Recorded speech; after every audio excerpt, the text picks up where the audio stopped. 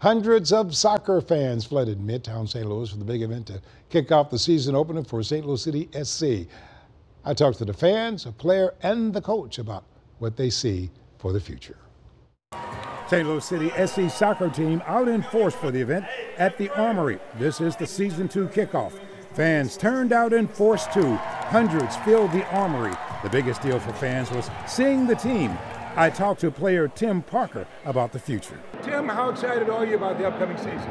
Uh, very excited. You know, we had a good season last year, so I'm excited to see how the turnout will be and how uh, how the team will shape up. Obviously, this team surprised a lot of people first year out with the performance that you guys had. This, that part has to make you feel good. Yeah, it makes us feel really good, but uh, now we have some standards and some expectations to hit for ourselves. So uh, we're looking forward to year two. People here got to hear from team executives, the coach, as well as new and returning players.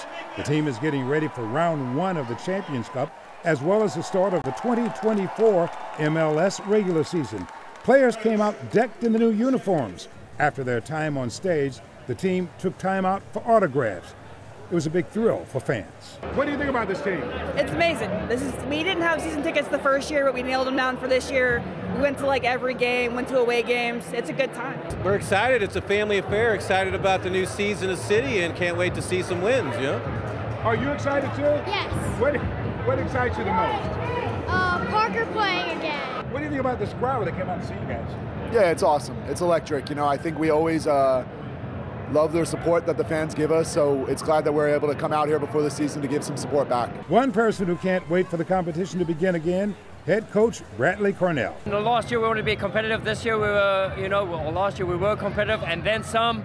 You know, for this year it's much of the same. Last year we tried to, you know, prove people wrong. This year we want to prove to ourselves that we were right um, in our belief system. So, you know, we're really excited about this, and. Uh, for sure we're thinking about Champions Cup, that we want to get off to a good start against Houston, and then the league follows straight on after that. What do you think about this turnout? Oh, it's amazing. I mean, uh, some teams all over Europe would be proud of this as well. So yeah, I'm really, truly proud and humbled, and I think every player in our ranks here just can't believe it. I think the new players who've come into here sees what St. Louis is all about, um, and this is a real good kickoff or a good energizer for Tuesday's game for sure.